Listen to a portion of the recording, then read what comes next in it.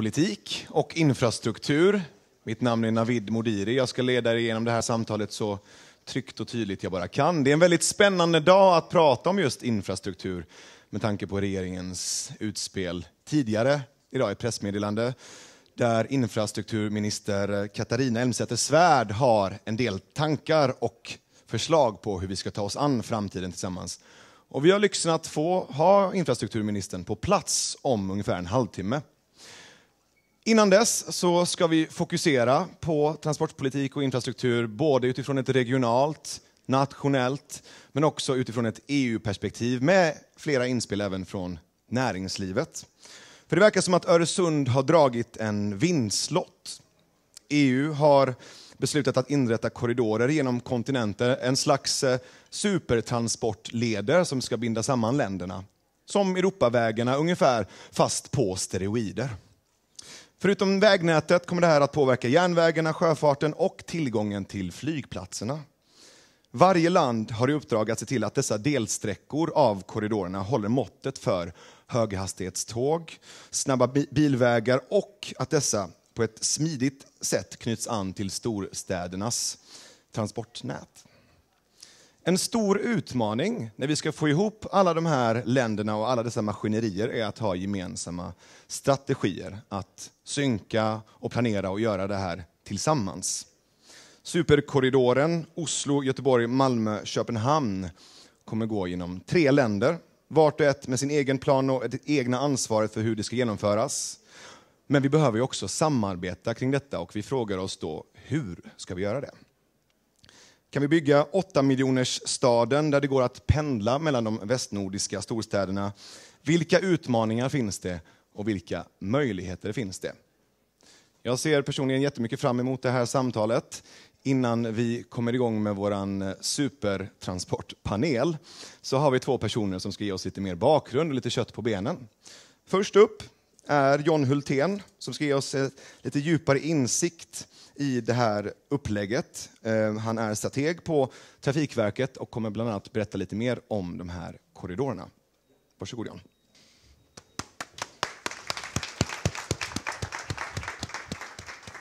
Tack.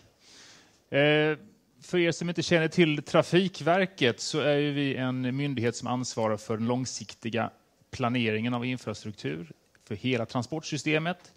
Vi eh, har dessutom ett särskilt ansvar för att bygga, underhålla och drifta väg och järnvägsnäten, alltså de statliga delarna. Och så gör vi en del annat också. Vi upphandlar till exempel en del trafik, till exempel Gotlandstrafiken till och från Visby, som ett exempel. Eh, vi är ju en nationell myndighet med ett nationellt uppdrag, men i det, i det liksom inbegriper att vi måste vara väldigt aktiva på andra nivåer. Eh, både lokalt, regionalt och europeiskt, internationellt. Och inte minst den europeiska dimensionen har blivit viktigare och viktigare eh, för oss. Det påverkar i väldigt stor utsträckning förutsättningarna för oss att, att, eh, att fullfölja vårt uppdrag. Så jag tänkte prata lite om den europeiska transportpolitiken här och nu. Eh, det här med transportfrågor har ju, det är inget nytt. Det har alltid varit en väldigt viktig del av eh, det europeiska projektet som ett verktyg för att genomföra den inre marknaden. Eh, man kan väl säga att det var först på 90-talet som transportpolitiken fick lite mer tydliga konturer på den europeiska nivån i och med att man då tog en första vitbok om transportpolitiken. Och eh, några år senare så enades man eh, europeiskt om ett, också ett transeuropeiskt transportnät, alltså ett antal vägar, järnvägar, hamnar eh, och så vidare av europeisk betydelse. Eh, och man pekar också ut ett antal projekt som var av särskild vikt att genomföra. Där Öresundsförbindelsen, var, Öresundsförbindelsen är ett sådant exempel. Sen har det kommit en, en vitbok 2001 och den senaste vitboken kom 2011 och det är den som så att säga, utgör mycket av basen för den europeiska transportpolitik som vi ser idag. Eh, den här vitboken hade ett 40-punktsprogram som innehöll många olika saker. Eh, några exempel. Eh, det fjärde järnvägspaketet för att etablera ett gemensamt europeiskt järnvägsområde. Eh, det som kallas för Blue Belt, alltså att, att bli av med många av de administrativa hindren som finns inom sjöfarten och när sjöfarten angör hamnar. Eh, passagerarrättigheter för alla trafikslag, ökade satsningar på forskning och innovation inom transportsektorn, inte minst för att möta eh, hållbarhetsutmaningen. Och så det då som, som kanske eh, eh, har blivit en väldigt stor diskussionsfråga och som, som är väldigt mycket fokus, alltså de reviderade riktlinjerna för den europeiska infrastrukturpolitiken, alltså det transeuropeiska nätverket och hur det ska fortsätta bedrivas. Och här har då EU pekat ut eh, lite tydligare än vad man gjorde, vad man gjorde 1996, liksom lite klarare och lite mer strategiskt peka ut vad är det vi ska satsa på, vad är verkligen av, av europeisk vikt eh, när vi pratar infrastruktur. Och då har man enats om ett strategiskt nät, ett eh, core network, stomnät, både på vägar och järnvägar, flygfart, eh, sjöfart och inre vattenvägar. Och man har dessutom, då, för att sätta ytterligare tryck på genomförandet av, de, genomförandet, äh, av dessa, pekat ut ett antal korridorer, stomnätskorridorer, nio stycken som ni ser på kartan här. Eh, och det är de man lägger väldigt mycket kraft och vikt vid att få genomfört. Och där har man pekat ut också eh, förhandlingspersoner, skulle vi kunna kalla det för i Sverige, som ska liksom öka trycket på de här och verkligen få saker och ting att hända. Och en sån här stomnätskorridor som berör oss i Sverige, men även i Danmark, det är den som går från Skandinavien ner mot Medelhavet. Och där finns det två projekt som man särskilt lyfter fram, och det är Fehmarn Bält-förbindelsen och det är tunneln genom eh, Brennerpasset. Men det finns mycket andra projekt i det också. Och, och där kan, kan också rymma till exempel en HH-förbindelse eller ett svenskt höghastighetstågssystem. Eh, finansieringen då, ja, i den nya budgetperioden som eh, sträcker sig från 2014 till 2020 så har EU väsentligt ökat ambitionsnivån när det gäller att satsa på infrastruktur. Eh, det är tre gånger mer pengar än tidigare budgetperiod. Det är ungefär 26 miljarder euro. Eh, men som ni ser på den här bilden, det är ändå en ganska liten del av det behovet som man bedömer finns för att genomföra det som man vill och som uppgår till någonstans i storleksordning 250 miljarder euro. Och med det sagt så inser alla att EU-pengarna är liksom ett smörjmedel, någonting som kan få saker och ting att hända med den europeiska infrastrukturen, men det krävs mycket andra insatser. Det krävs nationella medel, det krävs eh, andra medel för att genomföra det här. Eh, och det sätter liksom lite grann eh, punkten på den här frågan om finns det en eh, europeisk transportpolitik som fungerar? Ja, det kan man nog säga att det finns, men det förutsätter ju väldigt mycket att den europeiska dimensionen också tas om hand i den nationella infrastrukturplaneringen, i den regionala och lokala infrastrukturplaneringen. Eh, för att EU kommer så att säga inte själva kunna genomföra det här, utan de kan vara ett smörjmedel, men andra måste ta vid. Och den här bilden eh, försöker på något sätt visualisera att vi har ett antal planeringsprocesser på olika nivåer i samhället, både regionalt, nationellt och europeiskt, som har en sån formell legitimitet som styrs av lagar och regler och har en demokratisk, eh, demokratisk eh, eh aspekt som är väldigt viktig. Men det finns också väldigt mycket andra planeringsarenor som är mer frivilliga mellan olika typer av organisationer. De kan vara transnationella, de kan vara eh, gränsöverskridande och så vidare. Och från traf Trafikverkets sida så är vi, försöker vi vara aktiva inte bara i den nationella planeringsarenan utan faktiskt på flera nivåer och jobba eh, för att, för att realisera de europeiska ambitioner som finns. Tack.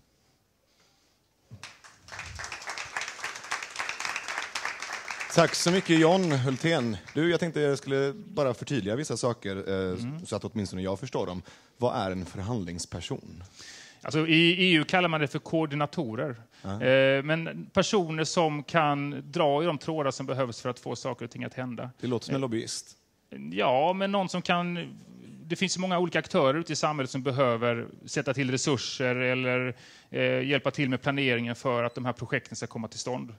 Och någon som så säga, kan ta ett övergripande ansvar för att se till att alla gör sin del av hemläxan. Mm. Så skulle jag vilja uttrycka det. Varför tror du att EU gör det här? Varför sätts den här pressen just nu? Alltså för EU har man ju alltid tyckt att det här med infrastrukturfrågor är viktigt. Mm. För att kunna möjliggöra ett, eh, ett, att folk reser och, och, handlar och att gods kan transporteras över nationsgränser. Vi ska komma ihåg att våra transportsystem har ju byggts upp väldigt mycket som nationella system. Inte minst vissa transportsystem, som till exempel järnvägen. Mm. Och det här är något som EU länge har försökt att bryta ner. Och man tyckte väl inte att man kom riktigt så långt eh, med, med det, de instrument som man hade tidigare. Nu har man försökt ta ett omtag och verkligen sätta press på att saker ska hända.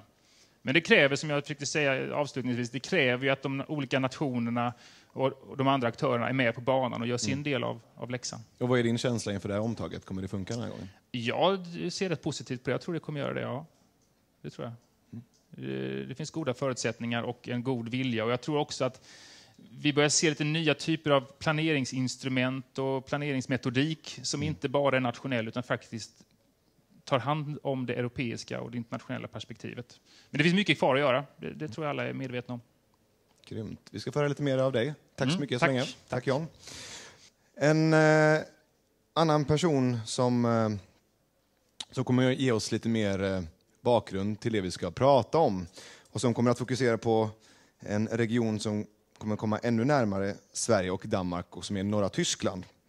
Det är Jakob Westergaard som är direktör för något som heter String. Så vi ger Jakob en stor applåd upp på scenen.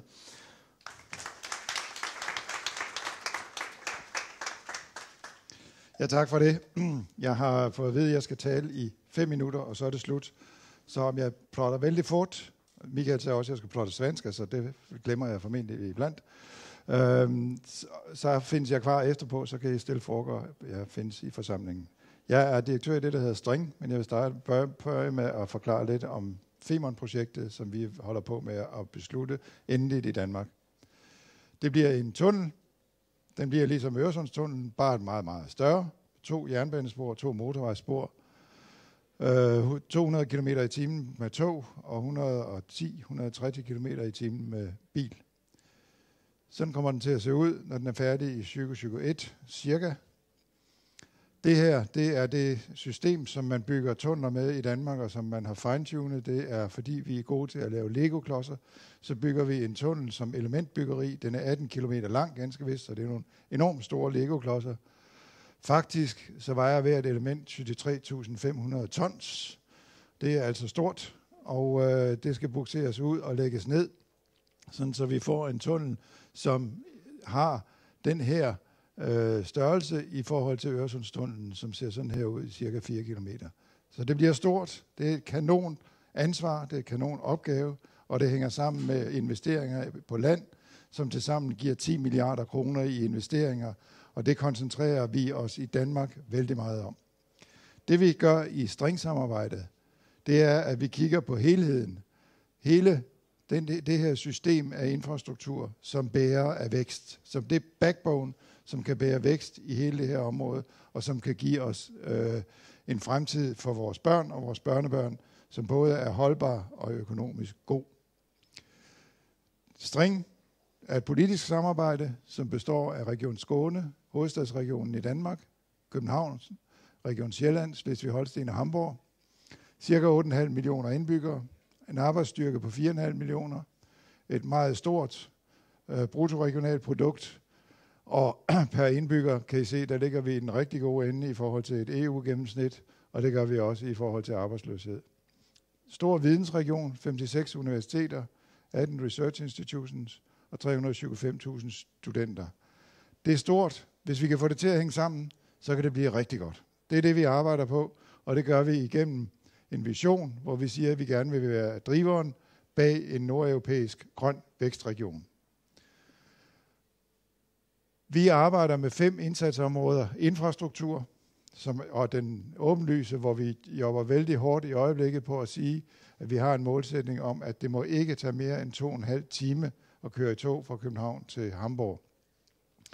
Apropos grænseoverskridende samarbejde, så forsøger vi at få transportministerne fra Danmark, Sverige og Tyskland til at sætte sig omkring et bord og diskutere, hvordan vi får den teknisk bedste løsning, men også hvordan vi får den bedste service, når vi åbner i 2021.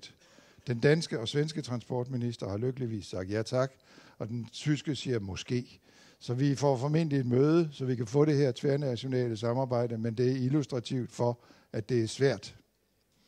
Vi arbejder med grøn vækst, har en række initiativer på området, inden for energi, inden for e-mobility inden for hybridbiler, inden for LNG til store forderen, som vi arbejder med. Science and Research, klart ESS, DESI i Hamburg, de to store forskningsinstitutioner, som bliver færdige stort set samtidig med forbindelsen. De er ekstremt vigtige, men vi har en række andre kompetencecenter i det her område, ikke mindst inden for energi og renewables, som vi skal benytte os af, og vi skal få til at arbejde sammen til nogle større enheder på verdensbasis også. Turisme og kultur arbejder vi med for at få folk til at rejse på, på tværs af grænser. Det har vi gjort med succes i Øresund. Det har været basis for, at vi kunne arbejde med øh, integration.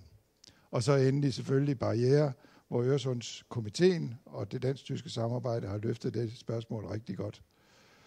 Det her, det er svensk og dansk immer eksport til Tyskland. 14 procent af den svenske udenrigshandel går til Tyskland. 18 procent af den danske går til Tyskland. Vi skaber en forbindelse dernede, som er ekstremt vigtig for vores landes økonomier. Og vi har i høj grad vores omsætning i den nordlige del af Tyskland. Det, som EU gør i øjeblikket med de korridorer, man laver, det er netop at sætte fokus på det grænseoverskridende samarbejde, eller det grænseoverskridende infrastruktur i hele Europa. Det er ekstremt vigtigt. Og det er en tankegang, som er svær at få igennem i de nationale systemer. Og derfor har vi i regionerne og i kommunerne, som jobber med grænseoverskridende infrastruktur, vi har fælles interesser med EU, vi er allierede. Derfor sidder vi også med i String i det korridorforum, som kommer omkring korridor 5. Og der vil vi også løfte HH-forbindelsen ind, apropos vores diskussion tidligere på dagen om, hvordan får vi den ført frem også på EU. Tack. Tack så mycket, Jakob Westergaard. Du får gärna stå kvar på scen, Jakob, för att du, du ska fortsätta vara här helt enkelt. Jag tänkte yes.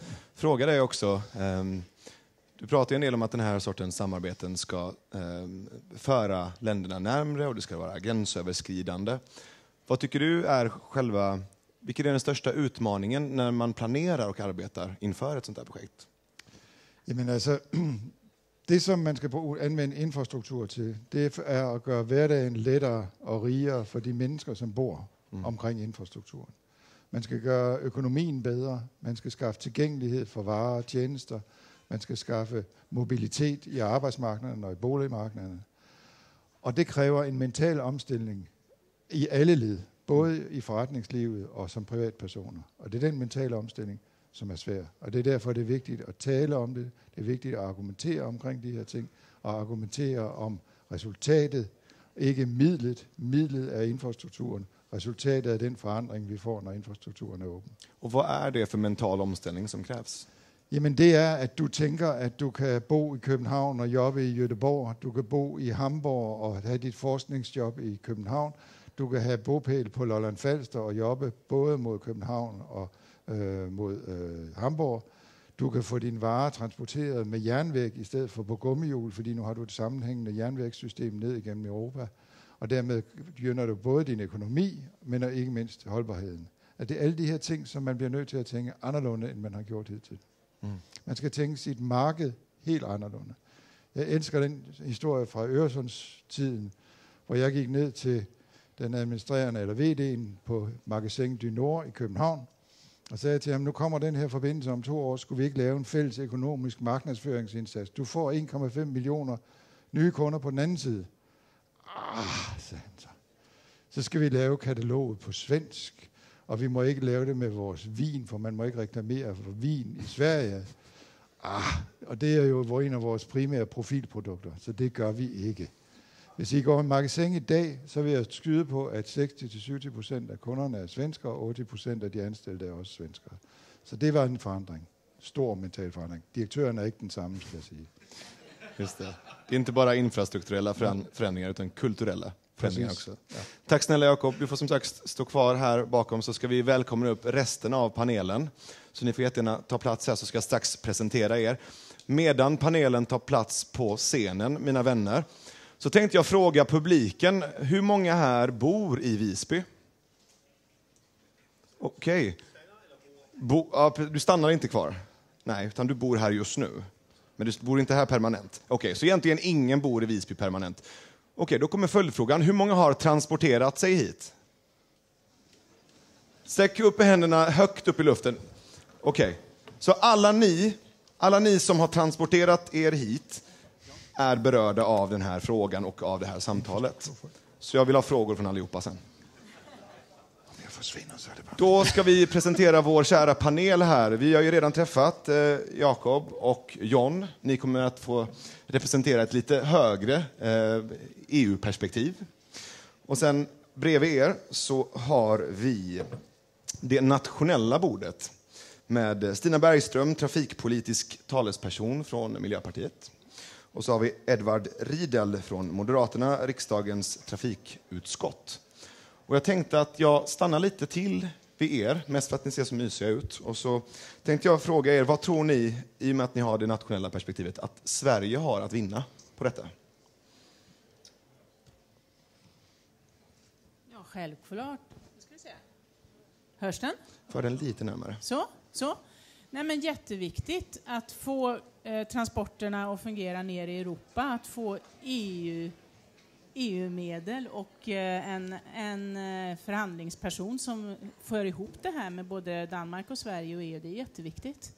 Jag tycker att vitboken som nämns här, det finns något väldigt bra i den och det är ju målet om att flytta över transporter från väg till järnväg och till sjöfart. Det finns tydliga mål i den vitboken och det är någonting som jag hoppas ligger med i det här tänket också.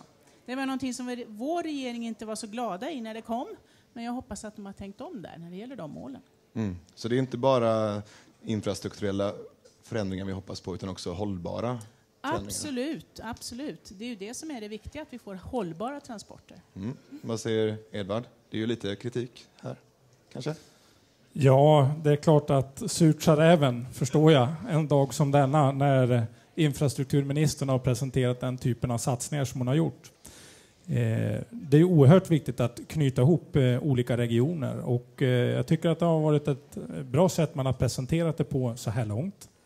Eh, Och jag hoppas att vi får en spännande debatt om alla de här delarna. För Skåne är ju en av de stora vinnarna på, på det nya och det är klart att vi har duktiga regionalpolitiker eh, som har eh, fört eh, Skånes fana högt och det ska de eh, eh se ett kvitto på idag givetvis. Eh, men det är klart, knyta ihop eh, Sverige med eh, kontinenten är oerhört viktigt.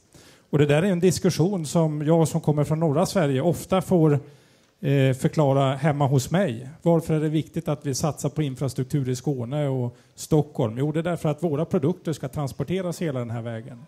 Människor ska också kunna ta sig på, på de här avstånden. Så att, eh, det är väl en kort inledning på det sättet bara. Mm. Men sen pratar jag väldigt, mycket, eller väldigt gärna mycket mer om de andra delarna som kommer in i det.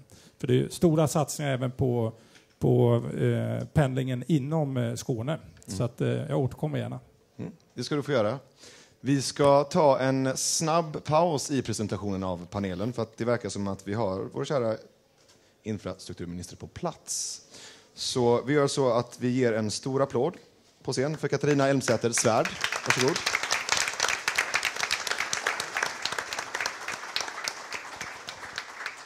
Tänkte att jag skulle ge dig eh, lite tid att berätta vad som har hänt idag. Eh, Alliansen har gjort ett litet utspel, kan man väl kalla det. Absolut. Så får du ta plats och så får jag återkomma med lite förtydligande frågor. Det får du göra. Absolut. Hej på er. Hej. Ni ser varma ut allihopa. det har jag också haft. Ja, idag har eh, Alliansens partiledare presenterat en viktig del av Sverigebygget. Vi har ju satt som en målsättning att till 2020 så ska mer än 5 miljoner människor ha jobb. 250 000 har redan fått det, men det innebär att drygt 350 000 ytterligare måste få det. Då är infrastrukturen en viktig faktor. Förutsättningarna för rörlighet. Men också i våra tillväxtregioner och i större städer så blir också bostäder viktigt. Och inte minst kollektivtrafik. Om man ska förstå det som har hänt idag så låt mig bara rekapitulera lite. När eh, alliansregeringen tillträdde 2006, ni får förlåta om jag är lite partisk, men då förberedde man ett arbete för en infrastrukturproposition 2008. På våren 2010 då hade man fastställt en nationell plan för åren 2010 till år 2021. Det var en stor satsning på de olika trafikslagen. När jag kom som statsråd hösten 2010 och konstaterade att det här med trafikprognoser, inte minst på järnvägen som vi brukar säga ibland, som man trodde man skulle uppnå 2020, de var redan på plats 2011. Så när vi stod där hösten 2010 fram på våren 2011 konstaterade att när vi har kommit till år 2021 då kommer det se ut nästan likadant i landet som det gör idag, fast vi har gjort så mycket ändå. Då fick bland annat Trafikverket i uppdrag att göra sin kapacitetsutredning för att se var har vi flaskhalsar, var har vi kapacitetsproblem. Det låg bland annat till grund för den infrastrukturproposition som vi la 2012 och som vi nu i våras gjorde beslut om den nationella planen. Då pekade vi ut att vi behöver ha en ny stambana, inte minst för att södra stambanan är fullt ut utnyttjad i sin kapacitet på vissa ställen och vissa tider. Mycket av den regionala pendlingen som har ökat, inte minst i Skåne men också i andra delar av landet. Då påbörjades och beslutades och finansierades fram till 2025 den delen som vi kallar Ostlänken, alltså mellan Järna ner till Linköping, påbörjades första delen mellan Göteborg och Borås. Vad som då hände, det är det som alltid händer egentligen, att kommuner är framfusiga, de tänker längre än så och vill ju ständigt vara med och planera. För hur mycket vi än beslutar så finns det alltid mer att göra. Kommuner går då ihop när de förstår att det kanske ska bli en ny stambana mellan Stockholm och Malmö och Stockholm och Göteborg via Jönköping.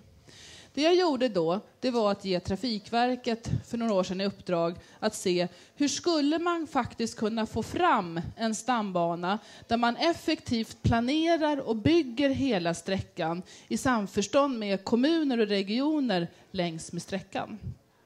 Detta har nu, tillsammans med att vi för ett antal år sedan också gav i uppdrag att se på en HH-förbindelse, som det var mycket diskussion om, i samarbete med tjänstemän på Näringsdepartementet och det danska motsvariga, se på, finns det behov av och förutsättningar för en ny förbindelse, en HH-förbindelse? Vi fick in en sån rapport den sa att ja, det finns behov av och förutsättningar för och vi skrev om det i infraproppen 2012. Idag då så kommer för att länka ihop detta arbete i det som jag har tänkt att göra i nästa infrastrukturproposition 2016 för att uppdatera som vi gör vart fjärde år, egentligen oavsett regering, och ska fastställa en nationell plan våren 2018. Givna förutsättningar.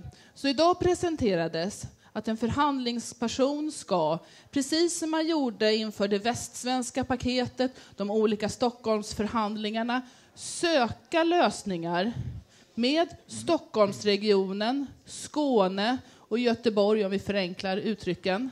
Titta och se hur vi bygger hela stambanan, Stockholm-Göteborg, Stockholm-Malmö. Fokusera på att öka bostadsbyggandet och tillgängligheten i form av ökad kollektivtrafik. Här får man då komma överens om var detta lämpligast kan ske längs med sträckan. Det ingår som en del i förhandlingen.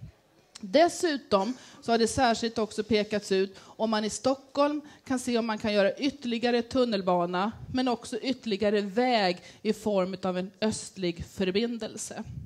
Förutom järnvägen åt det hållet, good, så tittar man också på i uppdraget för att se på järnväg som är i norra Sverige.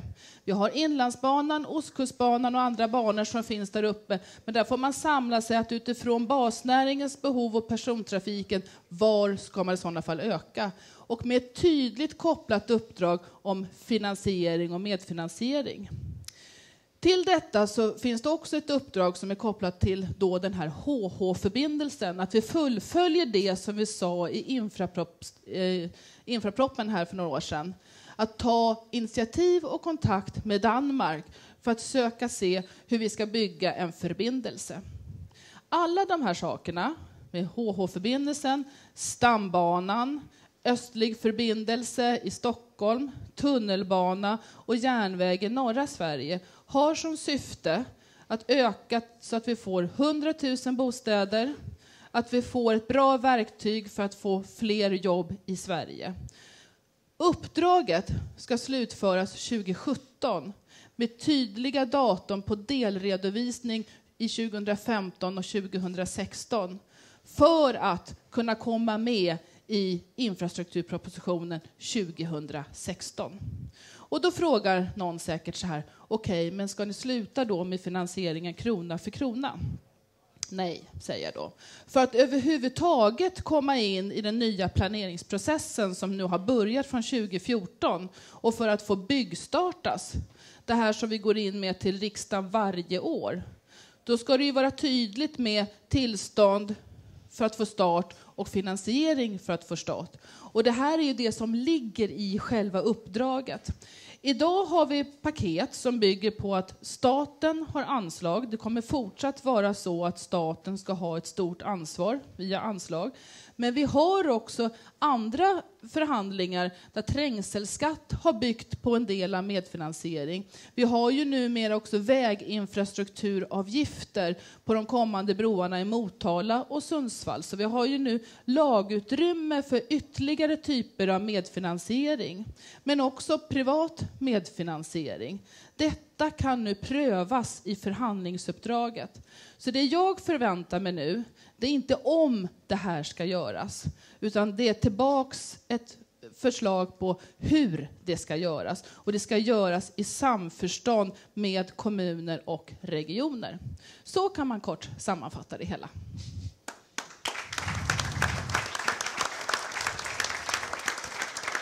Tack så mycket, Katarina Elmsäter-Svärd. Och jag undrar ju såklart, eh, när du pratar om de här olika satsningarna som ska göras, vad är det för eh, summor av pengar som kommer skjutas till? Vad snackar vi om reella satsningar mm. i cash? Alltså, uppskattningsvis värdet på hela den här, om man tar både bostäder och infrastruktur, är 400 miljarder. Då är ungefär hälften, 200 miljarder, avser då kostnaden för bostäder. Men staten betalar egentligen inte bostäder, utan det här är värdet av de bostäderna som blir till. Men just att man knyter ihop infrastruktur, kollektivtrafik med bostadsbyggandet så mm. finns det ett visst värde i det. Den andra hälften, där står nog eh, stambanorna för. Det finns en uppskattning någonstans mellan 110 och 175 miljarder. Det, säg att det blir 150. Det ingår som i det här uppdraget att se över. Där har det tidigare gjorts olika utredningar utifrån att man kan betala tillbaka med banavgifter och annat. Det får också ingå i detta. Mm. Lite drygt 20 miljarder, nästan 24-25, ligger redan beslutade i den plan som nu finns utav de andra då 200. När du pratade nyss så, så valde du medvetet att hålla ett relativt nationellt fokus. Hur kommer det sig? Det ingick i hela paketet, men Skåne ja. är en del av Sverige. Ja, absolut. Jag bor där. Ja. Jag tänkte mer på det temat som vi har idag och att också skapa de gränsöverskridande korridorerna mm. som talas om. Hur ser du på det? I den infrastrukturproposition som jag lade 2012 så var det just gränsöverskridandet som var en viktig faktor utifrån tre perspektiv. Det ena är gränsöverskridande där det gäller att använda alla trafikslagen. Det andra är att tänka över en kommungräns, länsgräns, men också en landsgräns. Mm. Det tredje är just att när man bygger infrastruktur, eller snarare ett samhällsbyggande, så måste man tänka bostad, infrastruktur, kollektivtrafik, att det hör ihop. Mm. Jag frågade Jakob här tidigare också, för, och vill gärna ställa den frågan till dig med. Förutom bostäder och jobb, vad finns det för andra effekter vi kan se av de här satsningarna? Alltså egentligen så finns det, jag brukar kalla det för flera vägar till jobb, därför att det är just det som gör att vi får tillväxt, att vi kan fortsätta utveckla saker, att vi kan ligga i framkant. Vi, jag tror att rörlighet i sig, människor emellan, skapar också många bra fördelar. Här handlar det inte minst om, jag, ser ju, jag blir alltid lika, jag tar Skåne som ett exempel varenda gång. Jag kommer ihåg, den kanske var nere i Skåne för 15 år sedan. Så det här med att förflytta sig, det är alltid långt i Skåne. Oavsett om det bara var en liten, liten sträcka. Mm. Det upplever inte jag längre att det är. Man kan till och med åka till Kristianstad från Malmö. Mm. Det går faktiskt idag. Det är för att du insett varför det är värt att ta sig dit nu? Precis, kan vara det.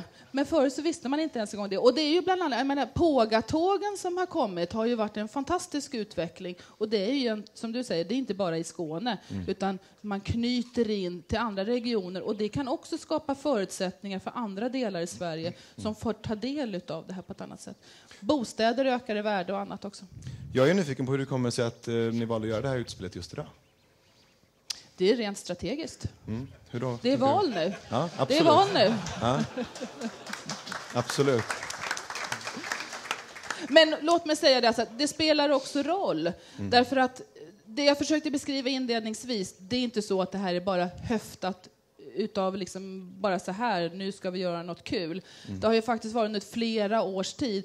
Att planera infrastruktur, både fysiskt och ekonomiskt, det tar tid, det vet vi. Och ska det bli av, då måste man dels tänka krona för krona, men det gäller att få in det i de olika processerna. Och vi ser att det har funkat bra, det här med förhandlingspersoner, och det blir någonting utav det. Och det är därför som jag är så tydlig med att tala om att det här ska in i nästa infrastrukturproposition. Och även om det nu skulle bli så att det skulle vara en annan regering, så tror jag att den regeringen är ganska glad att det här jobbet är gjort, för det är inte ogjort.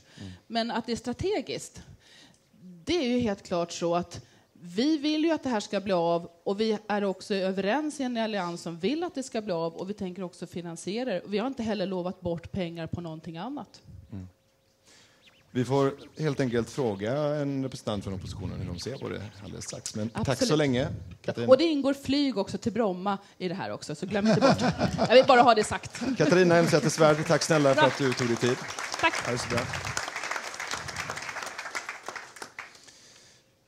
Och nu stod jag ju här tidigare med dig, Ja. Stina. ja. Eh, Miljöpartiet, hur ser ni på det här utspelet idag? Ja, jag tycker det är jätteroligt. Idag är det ju Miljöpartiets dag i Almedalen och regeringen gör ett utspel om de järnvägssatsningar, infrastruktursatsningar som vi redan föreslog 2010 som vi gick på val, till val på. Eh, och det är jättebra att regeringen nu äntligen säger att man ändå tycker det här är en bra idé. Sen har man ju inga pengar till det. Sen säger man att man tänker göra det någon gång i framtiden. Vi redan 2010 avsatte ju pengar i våran, vårat förslag till infrastrukturplan och den planen som vi diskuterade förra veckan i riksdagen med regeringen har vi också med de här satsningarna. Men vi hörde ingenting om att Alliansen eh, tyckte det var så bra då. Nu har vi myggat av infrastrukturministern som Ja. tur är. Ehm, Så hon kan ju inte bemöta det. Nej. Men vad säger du, Edvard? Ja, jag konstaterar som jag sa tidigare att det är klart att för Miljöpartiet blir det här jättejobbigt. Dels därför att vi satsar mer än vad de har sagt att de skulle vilja göra. Eh, sen är det också på det sättet att vi har en finansiering. Vi har eh, pengar på plats, till skillnad från Miljöpartiet som har lovat att vi ska jobba mindre eh, och en massa andra saker som kommer att kosta oändligt mycket pengar. Och det är klart, då finns det inga eh, skattepengar i slutändan till att använda till infrastruktursatsningar och så vidare. Så att det är klart att har man redan lovat bort hundratals miljarder till, till sådana här luftslott så det är klart att då finns det inga pengar till det vi pratar om. Och det var ju det som infrastrukturministern också sa. Det här är finansierat krona för krona. Och perspektivet är att det ska byggas mellan 2017 och 2035, alla de här delarna. Stina Bergström, om det blir en opposition, vad kommer hända med det här förslaget? Du menar om Alliansen hamnar i opposition? Eh, Precis. Ja. Nej, men det är precis som infrastrukturministern sa, att ja, men det, här, är- det här vill ju vi, så det är, väl, det är ju bra att man utreder det. Sen vet jag inte om ministern har gått, för jag har några funderingar. Jag tycker inte att förslaget är i detalj klart. Nu ska vi i och för sig, nu är det ett seminarium om Skåne, men jag tycker att järnvägar i norr är ett litet diffust eh, begrepp. Hon pratade om Ostkustbanan. Jag skulle väldigt gärna vilja ha reda på vad planen är för Norrbotniabanan i det här projektet, för det är ju en väldigt viktig satsning som vi vill satsa 10 miljarder på redan den här eh, perioden med byggstart 2016. Vi parkerar den frågan till ett eh, eh, nordligare eh, seminarium. Och så lägger vi fokuset istället på det regionala. Och Pia Kinnhult, regionråd i Region Skåne för Moderaterna. Och Sofie Herstop Andersen från Socialdemokraterna. Var det rätt? Ja, vad bra. Regionsformand i Region Huvudstaden. Vad eh, kommer de här satsningarna att innebära i relationerna mellan Sverige och Danmark? Ni får slåss om jag, det. ska jag börja?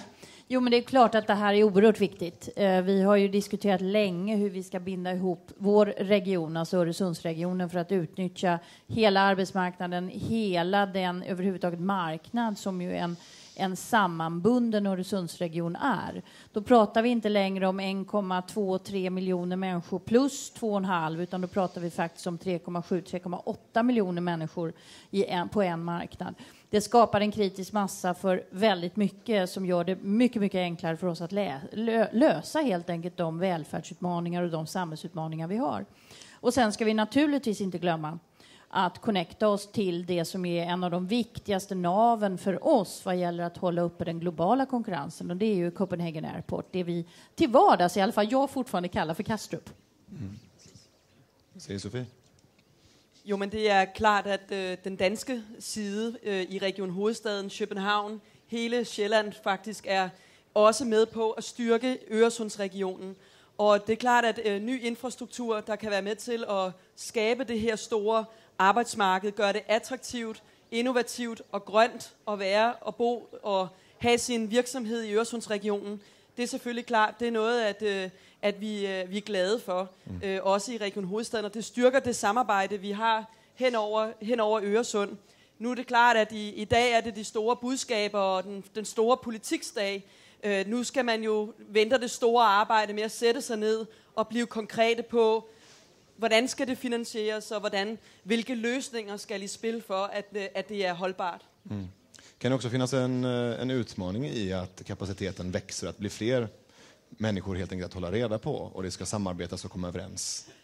Jo, men helt klart. Øh, vi har øh, på den, øh, i, i Københavnsområdet en, allerede en, en udfordring eller en, i, at, øh, at der kommer flere mennesker til. Det er en, det er en metropolregion, både på, på begge sider, også omkring Malmø og øh, de andre byer. Det, er, det er en, en udfordring, men vi vil faktisk gerne have mere. og det er derfor, at øh, vi øh, ønsker at styrke øh, Københavns Lufthavn. Det er sådan i dag, at øh, Copenhagen Airport øh, puncher, altså above its size, øhm, og, øh, og de 26 eller 26 internationale flyruter, der lige nu er destinationer, der er ude i hele verden, er langt mere, end hvad vi kunne forvente i denne her region. Mm. Og derfor er det så vigtigt, at vi nu også får bundet Femern Bælt med på øh, hele Hamburg. Så det slutter jo ikke med en ny fast forbindelse. Vi har stadig brug for de højhastighedstog, som blev skitseret øh, hele vejen op til Stockholm, til Oslo, over Københavns øh, Air, Copenhagen Airport og ned til Hamburg, for at komme i mål med at styrke hele den funktionelle region, øh, Skandinavien, Nordeuropas knudepunkt. Måste bara understryka, alltså det är ju, människor är aldrig ett bekymmer. Utan det är bara allting annat som kan vara ett bekymmer. Låt oss konstatera det. Tack snälla. Och jag lämnar över till eh, Per Bondeman som ensam får representera det svenska näringslivet borta på högerkanten. Per, du är eh, ordförande i Näringslivets transportråd. Finns det någon del av eh, de här in infrastruktursatsningarna som vi har pratat om som du tycker är lite, lite viktigare än de andra? Ja, om du pratar om utspelet som, som kom nu. Till exempel. Ja, alltså det, eh, det är jättepositivt att man vill satsa på infrastruktur. Eh, det främjar tillväxt eh, och välfärd i samhället. Men jag skulle vilja se lite mer detaljer i det här innan jag applåderar allt för högt. Bland annat kring finansieringen. Och vilka detaljer är det du skulle applådera åt om du Ja. se dem? Ja, alltså infrastruktur eh, är en statlig angelägenhet och jag vill ju helst se en statlig finansiering av det. Jag tyckte man nämnde eh, medfinansiering och sånt där och det, då drar jag öronen åt mig lite. Om man ska finansiera det här från kommuner och företag som är fattiga som kyrkråttor så tror jag att det är lite problem. Jag vill också se när i tid det här ligger. Men i grunden naturligtvis jättepositivt. Mm. Tack snälla Per. Eh, vi ska ju också ha lite incheckning med våra gentlemän på vänsterkanten där, Jakob och John. När ni, när ni hör dessa perspektiven och, och sen jämför det med ett litet högre EU-perspektiv, vad, vad tänker ni då? Nej, men jag tycker att det går som hand i handske med eh, det, om du ska representera det övergripande europeiska perspektivet. Jag tror att eh, det utspelet som gjordes idag ligger väldigt väl i linje med vad man önskar europeiskt. Inte minst för att eh, en, en, en höghastighetsbana till exempel kan frigöra väldigt mycket kapacitet för godstransporter eh, från norra Sverige ner mot eh, kontinenten. Sen är det långa tidsperspektiv här och det är mycket som vi behöver göra innan det där höghastighetsnätet är färdigbyggt 2035 mm. eller när det nu kan, kan bli. Så att vi får inte tappa heller det korta och medellånga perspektivet. Eh, det kan hända mycket på vägen. Mm. Jeg, jeg synes øh, ikke for at, at sætte nogen kæp i hjulet, men jeg synes stadigvæk, vi hører en uh, infrastrukturminister tale vældig meget om, hvad der sker inden om nationen, og ikke så meget om, hvordan det hænger sammen med, med resten af verden. Og det synes jeg er lidt synd, fordi det bliver mere og mere afhængigt. Altså det er rigtigt med, med Kastrup, eller Copenhagen Airport, er ekstremt vigtig for hele Sydsverige. Den bliver ekstremt vigtig for hele Nordtyskland også. Mm. Og dermed får man en hop hernede omkring, som bliver meget stor, også i forhold til resten af Skandinavien.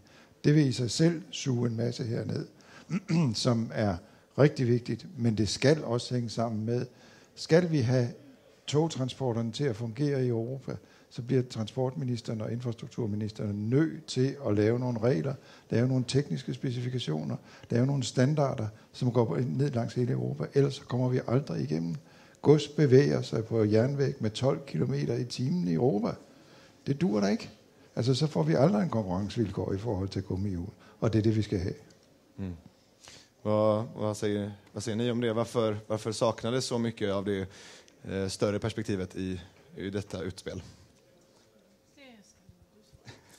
Jag, jag, så här, jag, jag tycker, om jag, om jag, får börja kommentera, så om näringslivet blir så här glad av den här stora historiska eh, satsningen regeringen presenterar, då, då, är jag lite bekymrad över, över näringslivets inställning till det här. Det tycker jag är jättetråkigt. Det vill jag säga till att börja med.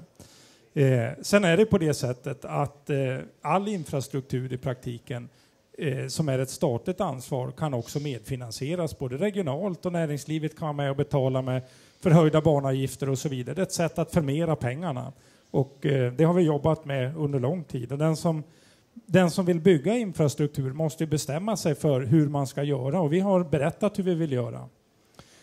Sen är det lite bekymmersamt eh, om man då har oppositionspolitiker som säger att ja, men det där vill vi också. Det där tycker vi också. Det där vill vi också vara med på. Det där är jättebra. Men saken är den, och det tycker jag är bra, och det perspektivet bör vara med. Allting ska i slutändan betalas. Och där har alliansregeringen från dag ett vi tillträdde varit väldigt noga med att all infrastruktur ska betalas och finansieras. Vi tog över ett eh, konkursbo i praktiken. Det saknades 70 miljarder till det som redan var igångsatt. Så det var det första eh, den första alliansministern fick göra. Mm. Men om vi, höj, om, vi, om vi höjer blicken lite nu, så jag skulle gärna vilja ha en respons på Jakobs perspektiv. Jag, jag, jag, delar inte den uppfattningen att vi inte har eh, det helhetsperspektivet, utan när det gäller finansieringen så finns den på plats. Och i de andra delarna så, ja, jag håller inte med helt enkelt. Jag tycker man har helhetsperspektivet, faktiskt. Har man helhetsperspektiv på, de, på den nivån? Har man ett så eh, liksom tydligt förankrat europeiskt perspektiv? Ja, men man har ju uttalade korridorer vilka man ska bygga. Man har också satt av pengar gemensamt i Europa just för att utveckla både eh, Core Network men också det som är, ligger eh, inte lika viktigt och är Comprehensive Network. Så att alla de perspektiven finns ju med vad man vill på Europanivå. Sen finns det en del pengar som är avsatt och det tyckte jag du visade på ett bra sätt hur mycket Europa har satt av, hur mycket det kommer att kosta totalt sett att bygga all den här typen av mm. infrastruktur. Så jag tycker absolut inte att det saknas ett övergripande perspektiv. Men den stora delen, och det måste vi komma ihåg, och det har vi ju sagt flera gånger från, från den svenska regeringen, det man måste komma ihåg är att i slutändan, det stora lasset ska dras av de respektive regeringarna. Mm. Och problemet, om vi ska vara uppriktiga, det är inte i Sverige, för i Sverige finns det pengar, för alliansregeringen har skött ekonomin. Problemet är stora delar av Europa där det saknas pengar för att bygga den här typen av infrastruktur. Nu är inte Europa här för att försvara sig, men vi ger Stina en snabb replik. Nej, men då var det väl ni som glömde att bjuda in dem. Det kan inte jag hjälpa. Eh, ja, nej, men jag vill säga att jag är också väldigt orolig för finansieringen. Ministern pratar om 400 miljarder när det gäller bostäderna så var hon väldigt klar på att det är inga statliga pengar, det är andra som bygger bostäder och så är det.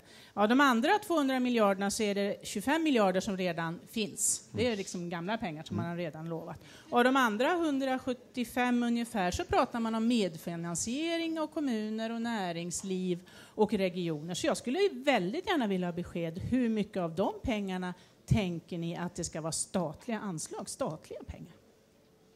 Vi, eh, vi får faktiskt pausa där, för att jag tänker lämna över till Per här borta som fick en liten gliring från, eh, från det nationella bordet här borta. Jag vet ju Per att du och några kollegor skrev ett brev till tre nordiska ministrar. Eh, vill du snabbt berätta om det brevet och sen om ni fick något svar på det? Ja, vi har fått svar på det. Ehm, till att börja med, alltså i, i grunden som jag sa, Edvard, vi är naturligtvis positiva till infrastruktursatsningar, men vi behöver titta närmare på finansieringsformen. Om det inte låter så, så, så beror det möjligen på Eh, att finansieringen inte är helt kristallklar än. Men vi får kika på det. Eh, det europeiska perspektivet är oerhört viktigt. Eh, och 20 procent av svensk export går över Danmark, för att nämna ett exempel. Den, ska vi se om jag kommer ihåg rätt, 30 november 2012 så var jag ute och åkte skidor. Då ringde telefonen och vet ni vad de meddelade mig då? Det, exakt, det var en stor tågurspårning i Farris på Irland. Och jag insåg direkt vad det skulle få för konsekvenser. Det skulle stå tre veckor, nu reparerar man det på 17 dagar, tack och lov. Det där fick avtryck i svensk BNP och det visar hur beroende de nordiska länderna är av varandra. Det, nu pratar vi mycket om Öresund, men det gäller precis lika mycket i norra Sverige eh, eh, där vi, Sverige har enorma gruvtillgångar och är beroende av en malmbana som går eh, genom Sverige och Norge. Genererar enorma välfärdsintäkter eh, till Sverige, så det är ingen angelägenhet för norra Sverige bara. Jätteviktigt att de här fungerar. Mm. Det vi efterlyste i det här brevet, Ja. det var en samnordisk planering av infrastrukturen. Och det är jättebra att man bygger en Fehmarnförbindelse och det är jättebra att man bygger den med Öresundsbrostandard. Men titta däremellan. Hur ser det ut där? Där är det fortfarande snuttar, både på danska och svenska sidan, som inte är Öresundsbrostandard. Alltså kan vi inte använda Öresundsbrostandard.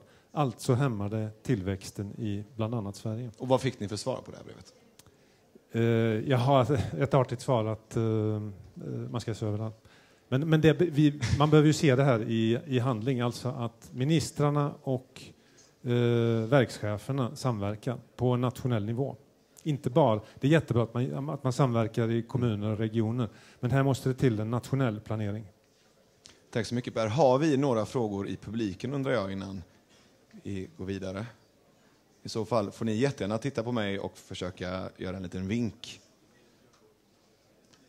Pia, eh, du såg ut som att du Ja, hade vi, något. vi har ju också skrivit brev eh, till våra transportministrar och infrastrukturministrar och vi fick också väldigt artiga svar. Eh, till och med så artiga så de på, hävdade att det, här var ju inga som helst bekymmer för att det i princip pågick ju redan. Eh, men det här är ju faktiskt ett bekymmer och det var ju egentligen det vi ville prata om idag. Vi är jätteglada för den här satsningen. Vi är väldigt glada för att också den fasta förbindelsen Helsingborg-Helsingör fanns nu med i ett förslag så vi kan komma vidare. Men vad vi då hoppas är ju att det i sig är en signal att nu behöver vi sätta oss ner och planera vidare gemensamt. Att inte så att säga våra infrastrukturplaner tar slut vid nationsgränsen. För så gör de både i Danmark, i Norge, i Finland, i Sverige. Så är det. Och så är det i övriga Europa också. Så att det här är ju inte bara naturligtvis ett nordiskt problem, men eftersom Norden är ett ganska litet land, ett litet område i världen, det är ju inget land, men ett litet område i världen, vi ligger ganska perifert och framförallt Sverige, men även Danmark är ju ganska exportberoende, så det är ju klart att vi, vi hade tjänat rätt mycket på att vi satt lite tajtare ihop Du säger- och planerade lite bättre. Ja, du säger det är så, men varför är det så att det är svårt att bygga över landsgränserna? Alltså jag tror det är tradition och kultur helt enkelt. Alltså det har varit, alltså vi, vi ska ju, om vi tar, väg är ju ändå hyggligt, men järnväg kommer ju ur att det skulle inte gå att ta järnvägståget över landsgränsen. Alltså det var ju en krigsfråga. Alltså det var ju, eller sagt så här, det var ju en skyddsfråga.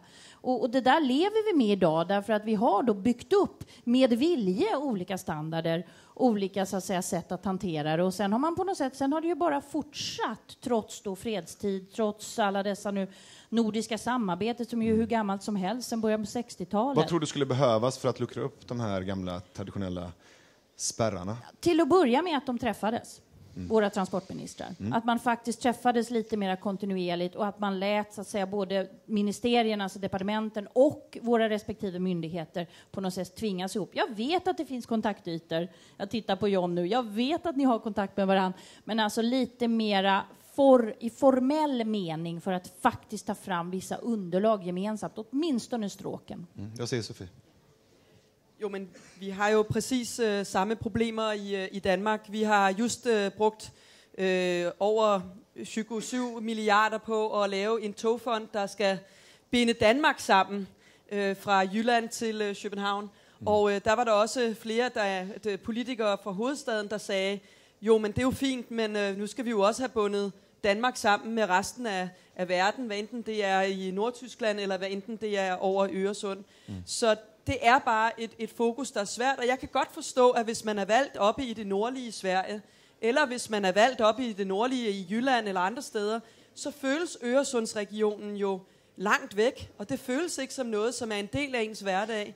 Men jeg tror også, man må huske, at den vækst og de arbejdspladser, der skabes i Øresundsregionen til eksempel, mm. er jo med til også at sikre job og vækst i andre dele af Sverige og andre dele af Danmark. Og den debat tror jeg ikke, vi har haft nok i både svenske medier eller i danske medier. Mm. Og det gør det svært øh, at, at gå ud og tale om den funktionelle region, øh, som jo i virkeligheden tæller det nordlige Tyskland, øh, det østlige Danmark og øh, det vestlige øh, Sverige eller Sydsverige. Mm. Øh, det har vi politisk ikke haft øh, været gode nok til at få sat på, på dagsordenen. Mm. Jeg tænker også, at øh, Øresundskomiteen, hvor vi allerede samarbejder, er et sted, vi kan. Og det er godt, at næringslivet også sætter fokus på det her. Øh, det skal vi have mere af. Vi har også Nordiske Rådet, øh, hvor ministerne til, faktisk mødes. Mm. Og øh, måske er der flere politikere, der skulle tale lidt med deres transportpolitikere og sørge for, at der også bliver sat en dagsorden der. Tack snälla Sofie. Vi har en publikfråga här. Ja, det kommer två mickar. Så eftertraktad var du min vän. Eh, Ja, eh, ja det, är, det är alltid roligt att vara eftertraktad. Eh, Fredrik Idvall från Regionförbundet Örebro. Eh, eh, Vi har ju pratat mycket här om att det här är system och vi har pratat, pratat mycket järnväg nu, eh, framför allt ur det här europeiska perspektivet. Jag ska, är lite nyfiken på vad man då ifrån kan säga, nationell nivå, men även ifrån regional nivå, i Öresundsregionen, eh, hur man pratar med Tyskland. För att eh, det räcker ju inte med att man kan åka genom Öresundsregionen. Eh, vad jag förstår så behöver det göras en hel del i Tyskland för att man ska dra nytta av det här. Eh, hur agerar ni gentemot Tyskland nationellt, alltså i, i Tyskland och i Tyskland regionalt? De pekar ju väldigt tydligt hitåt. Ja, ja, ja, ja, jag, är, jag är okej, intresserad av svar både från eh, så här, nationella nivån men även den regionala nivån. Ja. Eh, va, hur pratar ni med Tyskland? Vem vill du höra från först? Den som tar... B- börja med nationella. Vi börjar med nationella. Ja, det pågår ju samtal hela tiden på olika nivåer, även inom den nationella, det vill säga både regeringen har ju sina kontakter, det vill säga Kattis träffar ju sin motsvarighet och man har diskussioner. Vi träffar våra motsvarigheter, trafikpolitiker från parlament och så vidare. Eh, ett par veckor sedan jag träffade tyska representanter senast för att just dryfta de här utmaningarna. Men det som är det stora Europa, även om det inte nu var någon europé inbjuden utöver de som står här framme, så är den stora utmaningen i Europa är att man har inte pengar att matcha upp de här stora stråken med. Jag håller med, det går alltid att, att formalisera och förbättra samarbeten. Jag, jag säger inte emot det. Men det sker ganska mycket och dessutom finns det gemensamma språ- stråktänk. Men våra problem är ofta, när vi, när vi var i Värmland för några veckor sedan, och då var ju du med också, då är det stora problemet är att infrastrukturen på den norska sidan är bristfällig. Och när vi tittar ut i Europa när det gäller stråken så är det ju det att de, många regeringar sitter och har en hel del andra problem än hur de ska satsa de pengar som finns. Det vill säga att det är neddragningar och annat istället. Och det är klart att i den miljön så blir det väldigt lite av det här som borde vara när det gäller stråktänken. Så att jag tycker, som jag sa från början, jag tycker att det fungerar rätt bra idag. Det kan alltid fungera bättre. Men på stort sett så fungerar det väldigt bra. Stina? Jag tycker vi har haft alldeles för lite kontakter med, med våra utskottskollegor i, ja, i Tyskland, i Danmark och Norge. Någon liten eh, träff har vi haft under den här mandatperioden. Eftersom du kommer från Örebro så trodde jag du skulle ta upp någonting som jag saknade i utspelet idag och det är förbindelsen mellan Stockholm, Örebro, Karlstad, Oslo som inte är omnämnt. Där tar det ju idag sex timmar att åka och det är väldigt, en miljon människor som flyger varje, varje år. Eh, och det har inte regeringen brytt sig om att ta med i sitt utspel idag, vad man tänker göra där. Det hade jag varit väldigt nyfiken på att fråga infrastrukturministern om. Mm. Ja, vi har ju bildat då Stringsamarbetet som ju Jakob Westergård nu mycket väl har, har berättat om. Och det var ju just för att sätta oss ner på lokal och regional nivå i hela den geografin, hela det stråket som ju är intressant för oss. Sen är ju fördelen för oss naturligtvis i norra Europa att vi är ju inte den fattiga delen av EU så att säga, utan alla har ju hyggligt på fötterna, så vi är ju ganska jämbördiga ändå i våra samtal och i våra delar. Sen kanske ändå Sofie kan fylla i lite om hur det är att sitta med den tyska staten lite grann med när det gäller Fehmarn Bält, för det har jag förstått att det är väl nästan värre än att ha med svenskarna att göra med när det gäller Öresundsbron. Jo, men som Pia Schinhul siger, så har vi jo stiftet politisk samarbejde String for at have øh, den kontinuerlige kontakt med Slesvig-Holstein og med Hamburg omkring øh, for eksempel det arbejde, der sker omkring Femern Bælt, og gøre det til en grøn vækstregion, og kigge på grønne løsninger, hvad enten det er jernveje, øh, eller om det er øh, det, vi også kan kalde eco-friendly highways, hvor vi kigger på, hvordan kan man i fremtiden tage sin elbil og køre hele vejen ned igennem Sverige, hele vejen ned igennem Europa. Øh, det kan også blive en vigtig faktor jo. Øhm, derudover så er der selvfølgelig vores politiske netværk rundt omkring. Jeg havde selv fornøjelsen, vi var for nylig i Kiel og mødes med Slesvig-Holsteins regering, hvor vi præsenterede Femern Bælt-forbindelsen til dem igen igen, og spurgte dem pænt, hvornår kommer I til at kigge på jeres infrastrukturinvesteringer i det her område, og hvad er det for diskussioner, I har med det tyske parlament i Berlin, om hvordan I sikrer finansiering til de øh, landanlæg, som de skal have i Nordtyskland. Og det er jo den, det er jo den måde, vi kan gøre det. Øh, min fornøjelse var, at, øh, at øh, statssekretæren i Hamburg er, er min, viser sig er min gamle ven fra internationalt samarbejde, da jeg arbejdede i international sekretær i øh, DSU, i social, det, det sociale, socialdemokratiske ungdomsorganisation. Så man må trække på de politiske kontakter, man har, og så må vi også gøre det strukturelt, hvad enten det er i parlamenterne, eller det er i regionale samarbejder. Men vi skal have dialogen med tyskerne. Som det bliver sagt, så har de svært ved at, at finansiere ting. Øh, mere bekymrende er det, at mange af, at tyske politikere virker som om, de er, øh, de er ikke så stærke mere. De har nogle infrastrukturprojekter, der er gået dårligt. Og det har de meget fokus på. Til eksempel i Berlin øh, Lufthavn eller andre steder. Undskyld. Jag tänker, eh, Per, um, om nu Sverige halkar efter i de här uh, strategierna, i de här korridorerna, vad, vad är risken med det? Vad skulle vi kunna förlora på det? Alltså Sverige är ett starkt exportberoende land och uh, två tredjedelar av exporten kommer från eh, varor producerade i industrin.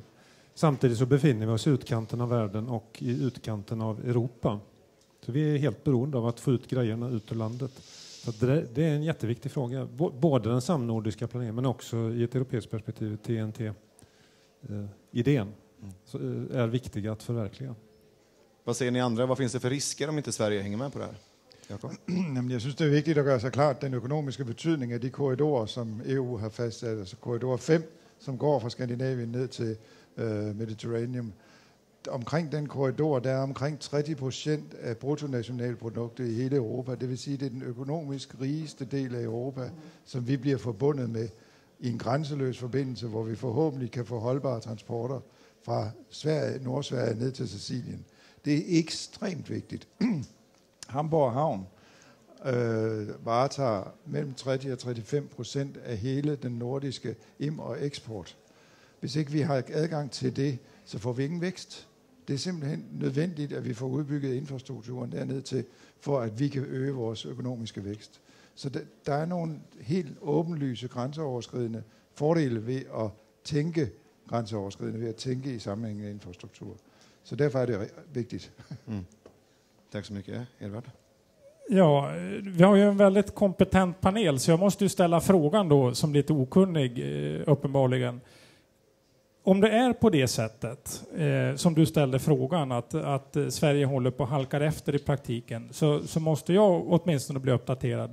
För om jag tittar på den nationella planen som ligger nu med de kompletteringar vi gör så får ni gärna berätta för mig övriga i panelen vilket annat land i Europa kommer att kunna leverera på samma sätt som Sverige vad det gäller att uppfylla både Core Network och Comprehensive Network, det vill säga i den europeiska kontexten.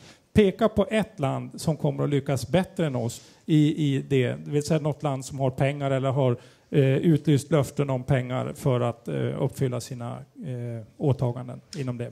Så skulle jag bli jättenöjd, för jag kan uppenbarligen inte det eftersom frågan ställdes så negativt. Vi tar det som en sista utmaning till eh, panelen. Vilket land ska Sverige ta rygg på för att bli bättre på det här? Det beror ju på var man börjar också tycker jag. Mm. Men det, jag, jag, tycker inte man behöver gå i polemik om det. Det är jättebra att Sverige satsar. Det är jättebra att det finns en bred politisk idé om att det här behöver förbättras. Jag tycker man kan nöja sig med det. Tack så mycket Per. Men alltså det, det, det, är ju intressant med en intern moderat debatt. Eh, men det, är ju, det intressanta är inte pengarna, för du har helt rätt Edvard. Alltså det, på pengasidan, finansiering etc. där har inte vi några bekymmer, men vi har bekymmer med vår struktur. Faktiskt. I de övriga länder är det nämligen ministerstyre. Man skickar alltså ner människor med mandat som sitter och förhandlar. Medan vi skickar våra myndigheter, och de är jätteduktiga för det är där kompetensen sitter, men de har inte mandatet att politiskt förhandla. Mm. Det kan vi inte begära. Därav kommer vi efter i förhandlingslägena. Därför att vi har en sån helt annan struktur och beslutsordning i Sverige. Det är ett bekymmer. Och sen dessutom tog vi inte, vilket jag tycker är lite märkligt, vi kunde ju tagit ledartröjan då med tanke på vår stabila ekonomi och tagit det här samordningsansvaret i TNT-stråket som ändå vi berör så mycket. Det tycker jag är jättemärkligt. Nu sitter Pat Cox där, jättetrevligt, vi kommer att bjuda in honom och mala ner honom så han fattar att han kommer inte förbi Skandinavien och Norden med livet i behåll eh, utan att göra rätt. Men det är liksom ändå, det hade ju varit jättemycket bättre om det hade suttit en svensk där som verkligen förstod från Norrland till syd, Skandinavien, Norge, Finland och vår struktur och hade haft mycket större förståelse för vårt näringsliv, våra godsbehov och våra exportbehov. Tack så mycket Pia. Jag låter dem... Eh, ja, en applåd, en spontanapplåd är absolut välkommen.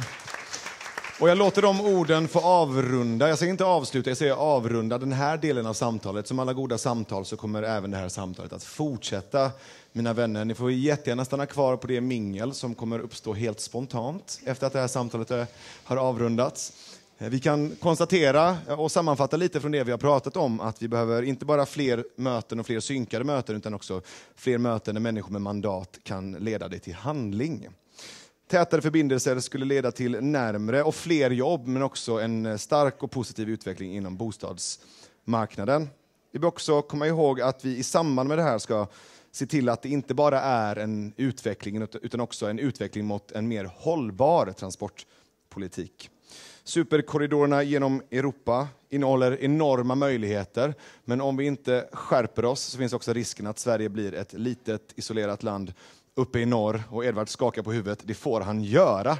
Det tycker jag bara är härligt. Det betyder bara att det här samtalet har lett till mer energi, fler frågor och det tackar vi för. Tack snälla för att ni varit med i panelen. John Hultén, Jakob Westergård, Stina Bergström, Edvard Riedel, Per Bondemark, Pia Kinnhult, Sofie Herstop Andersen. Tack snälla publiken, ha det så gott.